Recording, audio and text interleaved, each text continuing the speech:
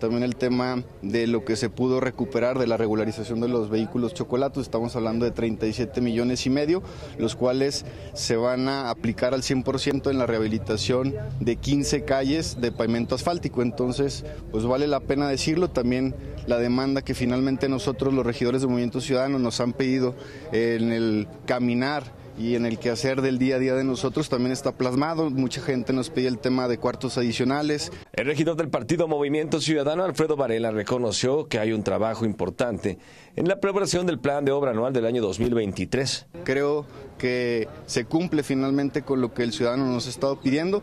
Además decir, hay un, hay un rubro que se llama presupuesto participativo y en ese también habrá que intervenir para que también los ciudadanos, ese tipo de obras que no se pueden incluir en el programa anual de trabajo, puedan ser incluidas dentro de ese presupuesto. Preciso que se rehabilitarán 15 calles de la ciudad capital con los 37.5 millones de pesos que entregó el gobierno federal al municipio de Durango producto de los trámites de regularización de vehículos chocolatos.